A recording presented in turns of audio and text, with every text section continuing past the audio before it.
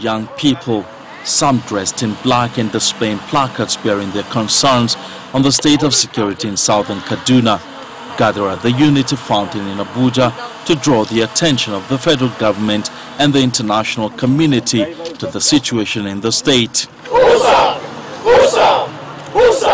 As some could not hold back their emotions.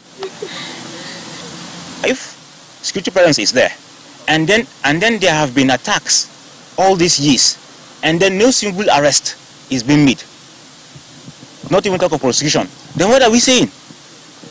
So government is not sincere in this situation. Our government is sleeping. Something must be done. Something must be done. They are not taking responsibilities of what is happening. And we, we, we, we, we must sleep with your eyes closed.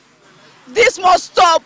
Kaduna State has had its fair share of insecurity, including banditry, kidnapping and arson. For these protesters, the situation has overwhelmed the state government as they call on the federal government to declare a state of emergency in the state. Our villages have been invaded on daily basis.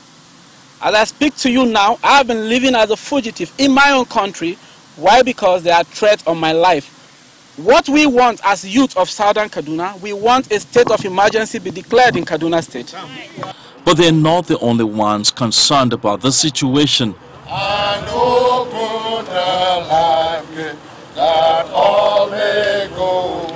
In another part of the fountain, these clergymen from southern Kaduna are holding prayers and calling for an end to the insecurity. All these people who are making trouble, fomenting crisis here and there, killings and maiming and kidnapping and abductions, they are all members of one church or one mosque or the other.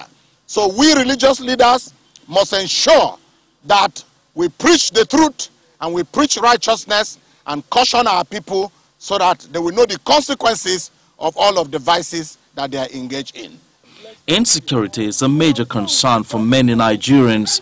It is also a source of great concern to the government who on a daily basis assure citizens of solutions to the problem.